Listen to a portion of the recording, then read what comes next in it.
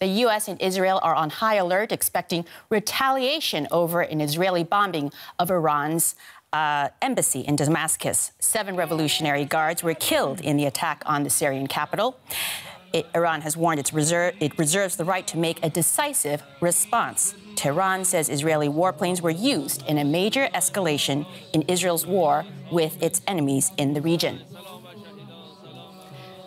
Behnam Ben Taleblu is a fellow, a senior fellow at the Foundation for the Defense of Democracies, a research institute in Washington, D.C. Thanks so much for joining us. He focuses on Iranian political and security issues. Uh, Behnam, are we seeing a major regional escalation here if Iran decides to strike? Uh, this would be a serious, serious uh, escalation. Uh, greetings, Melissa. Good to be with you. Uh, it depends a great deal on how, when, and where the Islamic Republic choose to respond, or indeed if they choose to escalate uh, against the Israeli strike that killed uh, several senior uh, Quds Force IRGC extraterritorial operations uh, military persons in Damascus last week in essence, one of those individuals was really, you could say, the connective tissue between the IRGC in Iran, the Syrian regime in Damascus, and Hezbollah in Lebanon.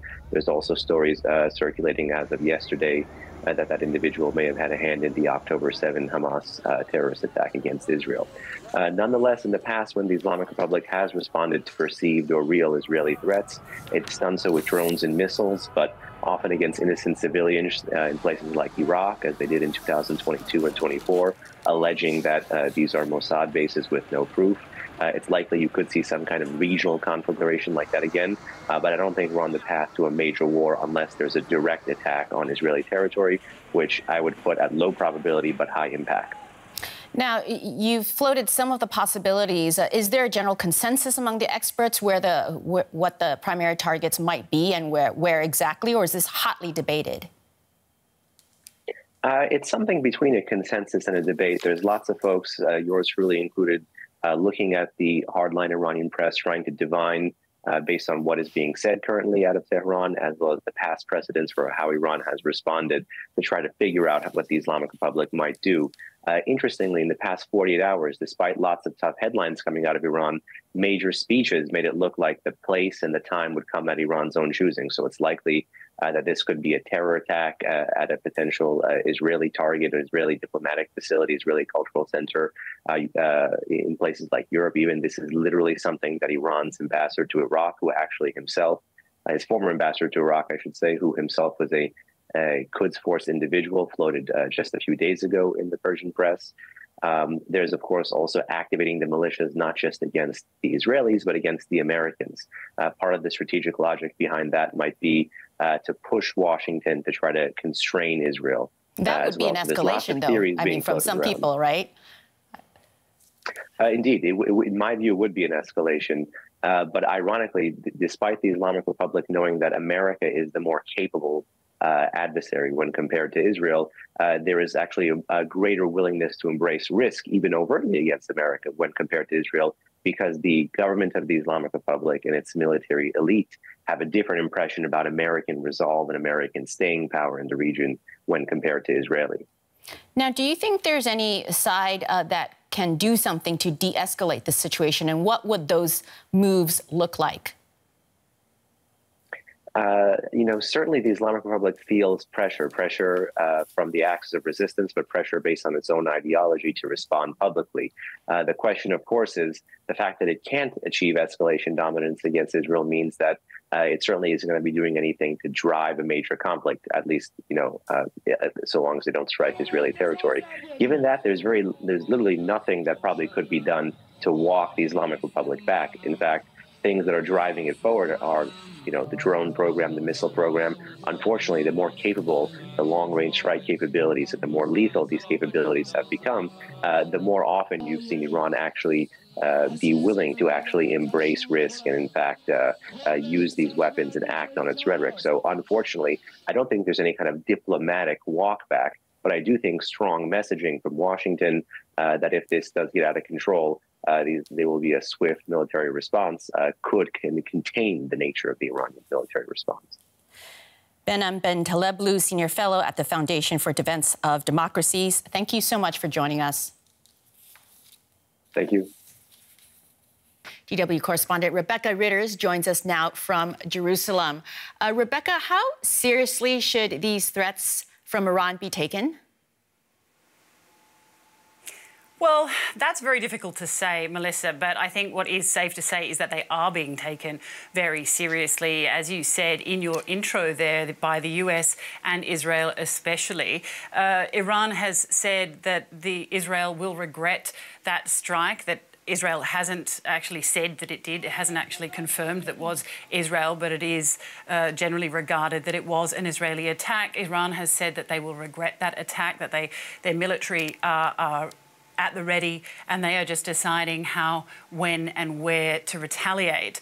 Now, analysts uh, and officials believe that it will, in fact, be a, a, strike from Iran rather than going through one of their proxies, namely Hezbollah in Lebanon, um, that it could very well be within the next week uh, and that it will likely be on either an Israeli embassy target or something in Israel. As you mentioned, the US targets in the region also possible, but I think more likely that it would be uh, one of those first two that I mentioned. Now, as you say, everyone here on high alert, particularly US forces in the region, uh, and Israel itself also uh, on high alert, saying its forces are ready to respond, uh, to retaliate, and to, to defend. Um, so I think, you know, whichever way you look at it, this is being taken very seriously, and it's certainly the biggest escalation we've seen vis a vis Iran since the, the conflict began in October. So, a very tense situation, and things feel kind of imminent. Uh, Iran has so far avoided direct conflict with Israel, though. So, if it decides to strike inside of Israel, uh, what are we looking at? A regional war? Well, that's obviously uh, the biggest fear that's certainly dominating the news in Israel and beyond in the region. I mean, that is something that people, uh, the US, Israel, citizens, officials have been concerned about since the beginning. I think you're right to say that both sides uh, have been trying to avoid a direct conflict, and I think that uh, stands. That's certainly what we're hearing from analysts is that neither side do want to get into that direct conflict. So I think that will determine where we will see this return fire from from Iran. Of course, if it is on Israeli soil, there'll no doubt be a response from Israel, and it will just depend where and, and what is targeted and how bad perhaps the civilian casualties are uh, that will determine just how quickly uh, this escalates. Uh, you know, if, if, it is a more sedate response, then perhaps Israel will hold back for a while. It's really difficult to say at this stage, Melissa, when we just don't know exactly how it's going to play out. But I think we're certainly looking at a, a potentially very large escalation. DW correspondent Rebecca Ritters, thank you so much. In Tehran, thousands turned out to attend a funeral for seven members of the Guard, including two senior generals who were killed in the blast. Clashes between Israel and Iran backed Hezbollah along the Israeli Lebanese border have increased since the war in Gaza began nearly six months ago.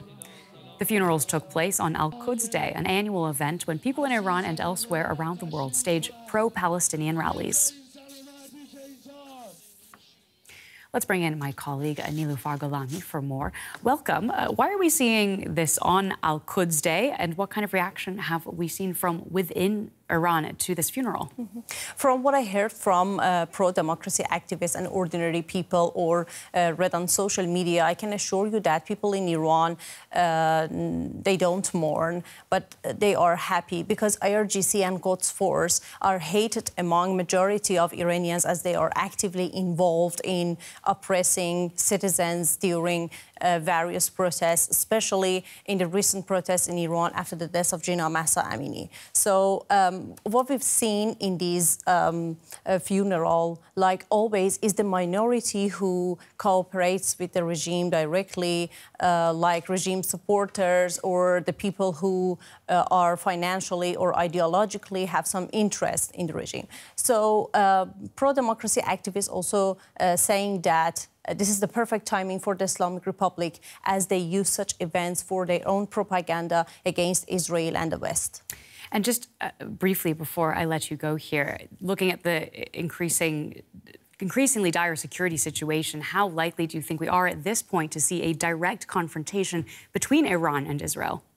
Um, only in 2024, Israel has conducted uh, more than 30 attacks on Iranian targets in Syria and killed 21 uh, Force members. But there has uh, uh been no answer to uh, these attacks. I, I, I, don't think this time is won't be any uh, direct confrontation as it could drag U.S. to the war with Iran, and it is the listing that the Iranian regime wants. I need to mention that here that one of the political organizations that belong to the hardliners claim that Zahedi, that um, has been killed um, in uh, Syria, was involved in the um, plot of the attack of on October 7th in mm. uh, Israel. But I think it's only be uh, attacked by a proxies. Well, Niloofar, thank you so much for that. That is uh, Niloofar Gholami.